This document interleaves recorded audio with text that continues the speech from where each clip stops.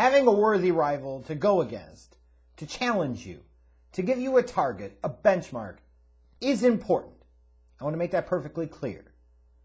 However, you can get so carried away with trying to beat that rival, so consumed by beating that rival, that you lose the entire plot. Humor me for a second. Think of this scenario. You're a runner, like I was back, back, back in the days. And you've got a rival that's always kicked your ass the past few years in the mile. Or depending on where you are, maybe they call it the 1600 meters. But let's just say the mile. And you've been spending your entire off season training, like, I'm going to beat this person, I'm going to beat this person, I'm going to beat this person. And finally, you get towards the end of the season, let's say it's your conference meet, and lo and behold, coming down the stretch, the last 100 meters, you go flying by all those strides that you did, all of those plyometric sprint work that you did, help you finally close the gap. You beat your rival in the final 100 meters with this massive closing kick, and you're like, God damn, I got him! And then you realize you finished 10th out of 15 runners. You were basically in the bottom third of the field. You beat your rival. But does it fucking matter? Did you win? Did you win? And when I look at this crap, this Friday night war between SmackDown and AEW Rampage, to all those people that were hyping this up as competition is a great thing. Competition will bring out the best of everybody. Competition will do nothing but make things better for all parties involved. I have to ask, what in the fuck are you smoking? Those who do not learn from history are doomed to repeat it. We have seen this play out time after time in the wrestling business over the past several decades, and yet people don't learn from the past. Meaning we're likely doomed to repeat it. This type of petty tit for tat back and forth, nobody wins. And if you look at these numbers from Friday night and think that any of these numbers indicate a win for anybody, you're a fucking clown. Clown. This is not something to celebrate. This is something to clown because it's an embarrassment. It's an indictment on professional wrestling as a whole. It validates what I said about all this buzz that you're talking about doesn't do any damn good if it's just buzzing amongst the people that are already going to watch, or in some cases, that like to tweet about it and still aren't freaking watching anyway. The hell are you celebrating? Why are you so geeked up? Why are you sitting there doing backflips? And joining with your brothers in pop- propaganda like Meltzer and fucking Alvarez and Keller and so forth. Stop it! This is ridiculous. Like when you look at the overall viewership for SmackDown and Rampage and that story on Friday night, SmackDown's a two and a half hour show. So much longer time to maintain your overall viewership, much longer time to maintain your key demo, that 1849 demographic. Can we at least agree on that? That two and a half hours is longer than one hour. If we can't agree on basic fundamental facts anymore, then what the fuck are we even talking about? SmackDown's total viewership is 866,000, give or take. AEW Rampage's total viewership is $578,000. $578,000. 578,000 viewers. Probably about as much as damn thing is all worth now. 578,000 viewers. SmackDown, 866,000 viewers. For context, if I'm not mistaken, wasn't it back in October of 2019? In fact, October 2nd, 2019, when you had the first ever episode of AEW Dynamite, and then you had NXT also running two hours in opposition. Didn't those two shows combined do like 2.3 million viewers? 2.2, 2.3, something like that? And you can make the time slot argument all you want about Rampage. Fuck that shit. Rampage is barely getting half of the viewers of goddamn Dynamite. Barely half of the performance in the key demo that only truly became a freaking thing for the wrestling media to talk about in the next, last couple of years. because they were doing the good bidding of their fucking sugar daddy or their zaddy, whatever the hell you want to call him, Tony Khan. Must have been giving them strippers and images of Kenny Omega's butt crack to snort it off of. I don't know what the fuck. You remember when we used to talk about ratings when it came to wrestling just a few short years ago, and you would actually talk about the actual rating number, and then there would be a talk about viewership? Wrestling has gotten to be so pathetically bad in this sense that we've totally gotten rid of that.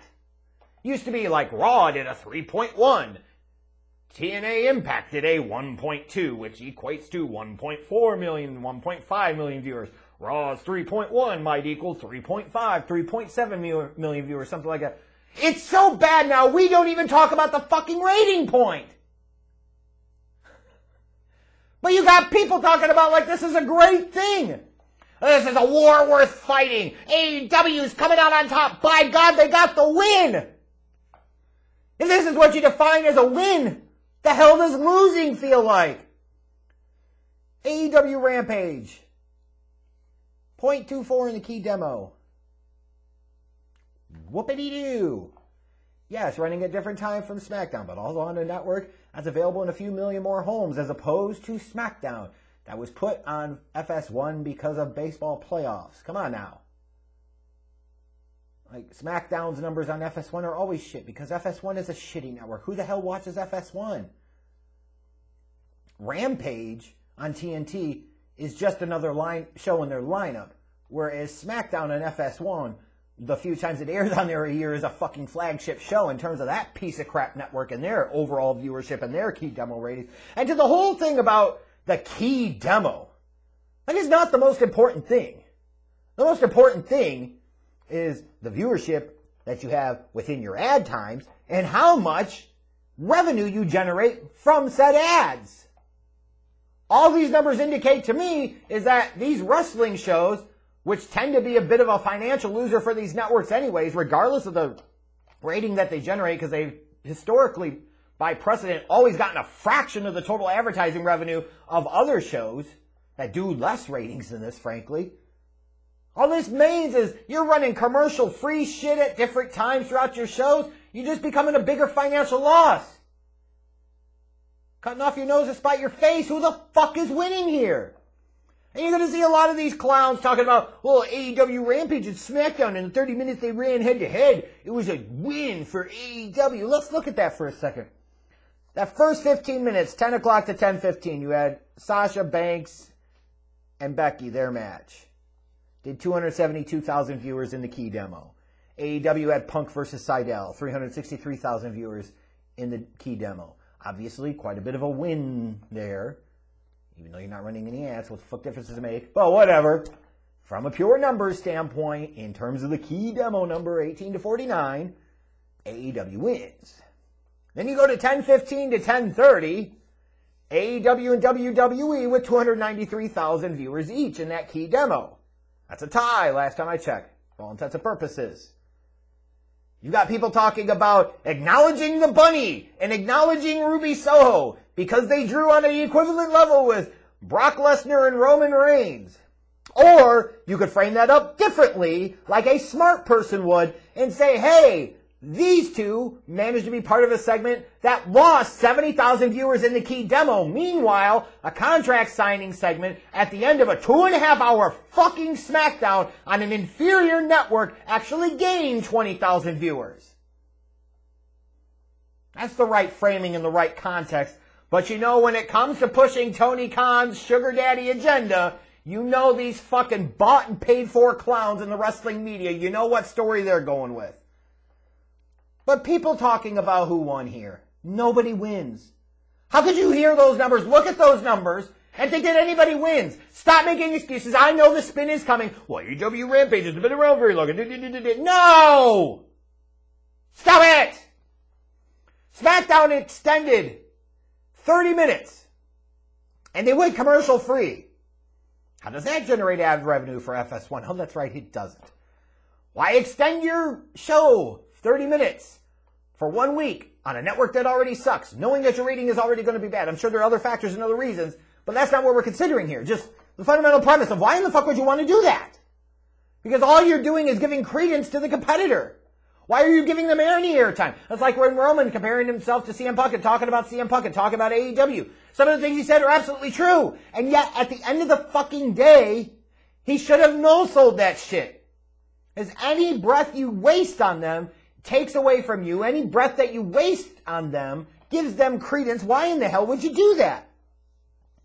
Why make a dumbass petty move to give AEW any type of anything over you whatsoever, making it seem like they're in your heads a little bit? That's dumb. Focus on your own lane. Because what you ended up doing is you basically undercut the first two hours of your SmackDown, so that way you could have Sasha and Becky towards the in that half hour, and Brock and Roman in that second part of the half hour from 10 to 10:30 Eastern. The fuck did that accomplish? You still didn't crack 300 viewers in the key demo. That's stupid. You undercut the first two hours because you wanted to play petty fucking games. That's dumb. And then AEW wins the fucking demo. The hell does that matter? You still look at that number, the overall 18 to 49, 18 to 49 performance is soft as Charmin. Let's not pretend like that's some glowing, outstanding number. I know from an advertising standpoint it doesn't matter so much, but total viewership still matters in the terms of the overall reach and scope. And when you're trying to factor in ratings, even though Nielsen itself is a somewhat discredited way of doing it, but now since AEW is getting some type of benefit in some ways, of course it's really going to matter. Total viewership still does matter because it can be a measurement of the entire scope of your product, and that sucked again. You're getting 1.1-ish million people to watch Dynamite. You could can barely convert half of them to watching Rampage on Friday night. I don't want to hear about the time slot bullshit excuse. Don't give me any of that. You're taking half of your viewers and two nights later, they're not watching your product for whatever damn reason.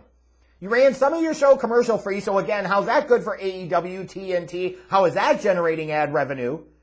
Soho and Bunny, their match lost 70,000 viewers in the key demo to Brock and Roman's contract signing.